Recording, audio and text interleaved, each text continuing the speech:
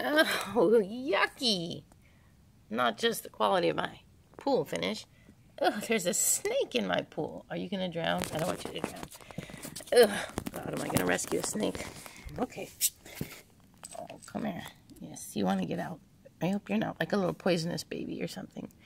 Ew. Are you a nice baby? Don't go back in. Oh, dang it. Are you like a water snake? Oh, my God. What do you guys think? I should do this on live and get some opinions. I think my opinion is that he should not be in my pool. Okay, you're coming out. Come on. Oh. I'm the only one up right now, so I guess it's up to me. Okay, you don't look really happy when you're underwater. Oh my god. Okay. Don't swim away. No. Oh my god.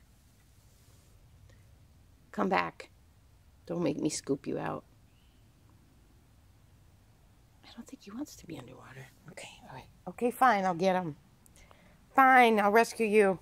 Oh, man. Yuck. Come on, critter. Oh. Okay. Come on. Yes, I'm doing a good deed for nature.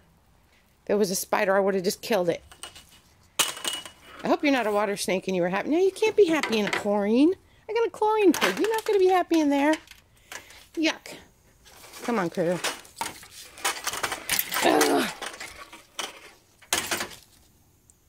Okay, you ready to be free? I'm going to put you far, far away.